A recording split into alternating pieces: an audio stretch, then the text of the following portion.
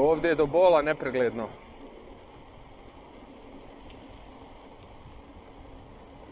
Nažalost, ne može se brže.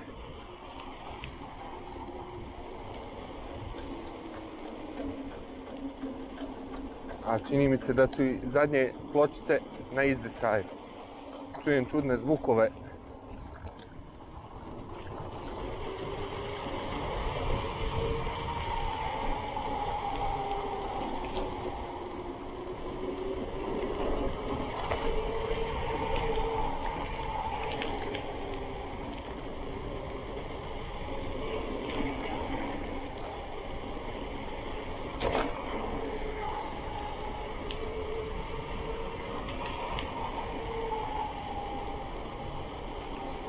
Kaže ograničenje 20. Moramo ga poštovati.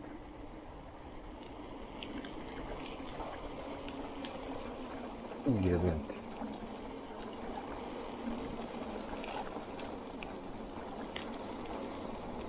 Ovdje je preko 12% uspona.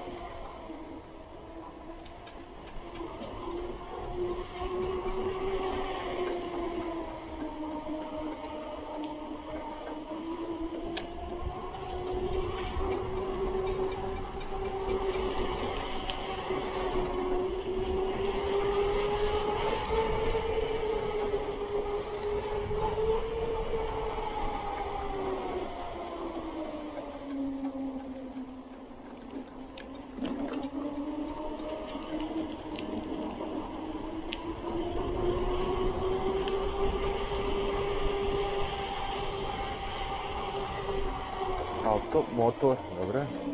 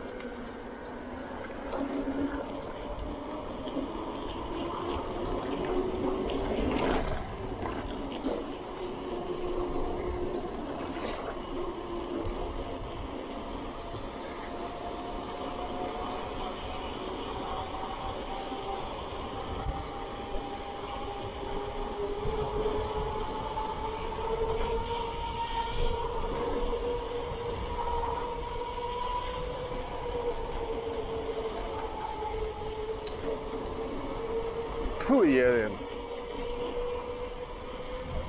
Izprskame.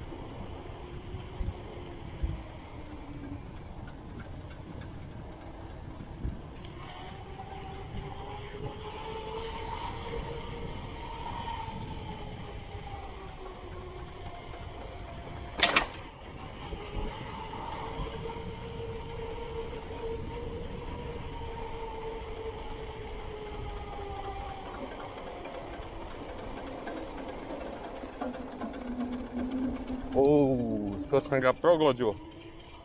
Sreća imam rezervne kupljene prije mjesec. Nema više ni jedna vožnja. I sa ovim.